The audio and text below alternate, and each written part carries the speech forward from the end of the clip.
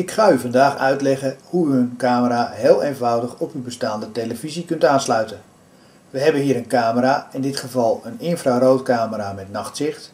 Die monteert u aan uw buitengevel. Dat kunt u met schroefjes doen, plugjes in de muur. U boort een gaatje door de muur, het kabeltje kan erdoor. Allemaal heel eenvoudig te doen. Aan elke camera, ongeacht het type of model, vindt u twee connectoren. Als we de camera gaan aansluiten, hebben we een langere kabel nodig. Want met zo'n kort kabeltje redt u het niet. Ik heb hier een kabel van 15 meter met aan weerszijden connectoren. Deze voedingsconnector sluit ik aan op de voeding en de BNC-connector op het beeldsignaal van de camera. Dit is dan de 15 meter kabel. Aan het andere uiteinde van de kabel vinden we dus wederom twee stekkertjes. De voedingsconnector en de BNC-connector. De voedingsconnector sluit u aan op de netstroomadapter en die steekt u in het stopcontact. Ook dat is allemaal vrij simpel te doen. Dan hebben we nog één stekkertje over. Hier komt dus het beeld uit van de camera die u buiten heeft opgehangen. Dit is een BNC-connector. Zo'n aansluiting vindt u niet op een normaal televisietoestel.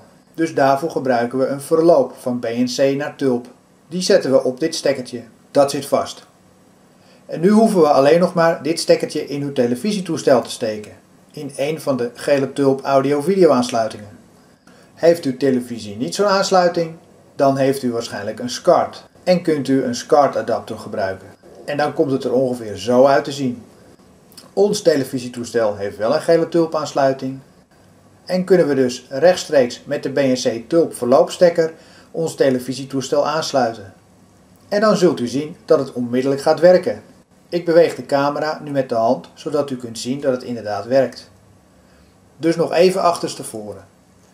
Dit is dus het verbindingsstekkertje naar uw televisie. Dit is de BNC-kabel inclusief de voeding, die eenvoudigweg in het stopcontact zat. Die kan er weer uit. Aan de camerazijde is het ook nog steeds eenvoudig. Weer de voedingsverbinding en de videoverbinding. En dit is het infraroodcameraatje dat u buiten op kunt hangen.